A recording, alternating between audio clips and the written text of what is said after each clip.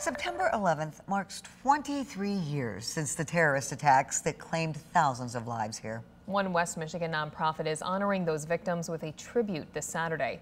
The Strikes for Stripes ceremony will be held at Cornerstone University's DeWitt Stadium. The event is hosted by Hero Services. All proceeds will go to programs that support first responders and veterans.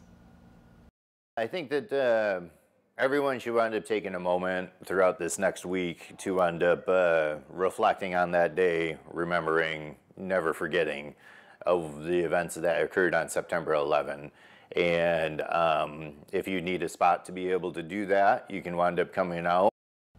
The Cornerstone Stadium gates open at 6 p.m. The pre-game ceremony begins at 7 p.m. Tickets can be bought online or at the gate.